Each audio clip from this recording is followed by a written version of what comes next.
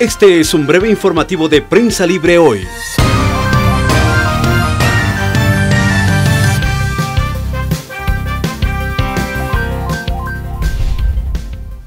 Son las 17 horas de este lunes 13 de junio de 2016. Comenzamos con el cuarto avance informativo de Prensa Libre TV. Al menos 601 paquetes de cocaína fueron localizados este lunes en una embarcación en aguas del Pacífico, en Escuintla, valorados en 61.747.791 quetzales, según autoridades. Hasta el momento no se han reportado capturas, pero se efectúan operativos en la zona para tratar de ubicar a las personas que pudieran estar involucradas en el traslado de la droga.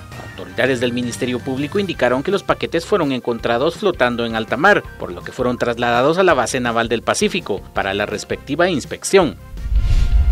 La Dirección de Asistencia y Atención al Consumidor Diaco presentó este lunes una denuncia por estafa en contra de los distribuidores de propano. La semana pasada la Diaco realizó verificaciones y evidenció que algunos distribuidores entregan el peso inexacto en los cilindros de gas. En un comunicado la Diaco señala, la denuncia presentada se formuló por un delito de estafa, por estar distribuyendo los cilindros hasta con 4 libras menos. Con esta acción legal la Diaco sumó tres denuncias presentadas en los últimos meses en contra de las distribuidoras de gas. El precio del propano incrementó este mes, pero las autoridades del Ministerio de Energía y Minas insisten en que no es justificado ese incremento.